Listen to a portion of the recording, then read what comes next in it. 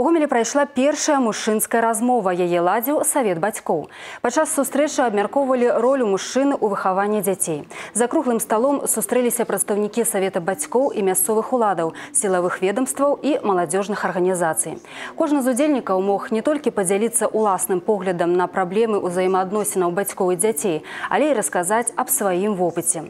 Мужчынская размова фармат унікальны ў Беларусі такая сустрэча арганізавана ўпершыню. Эту идею мы вынашиваем уже, наверное, несколько недель. Да. Очень здорово, что получилось сделать такое мероприятие, круглый стол, посвященный именно такому му- мужскому взгляду на проблемы подростков, которые сегодня существуют в нашем городе. Это прежде всего проблемы такого, а, скажем, мелкого хулиганства, матов, наркотиков, алкоголя, сигарет, драк, которые, в общем-то, как бы, да, так или иначе мы сталкиваемся с этим.